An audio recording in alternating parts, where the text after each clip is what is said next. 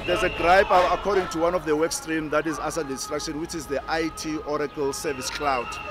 Now, what is happening here is that um, there were processes that were actually underway in the organization, but the issue here is that there is no consultation from the management's point of view.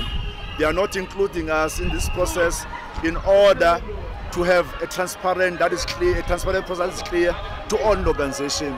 Instead, they are running away from us in terms of giving us clarity in as far as how far the process has gone. We want to be part and parcel. We are not saying that you cannot continue with this process.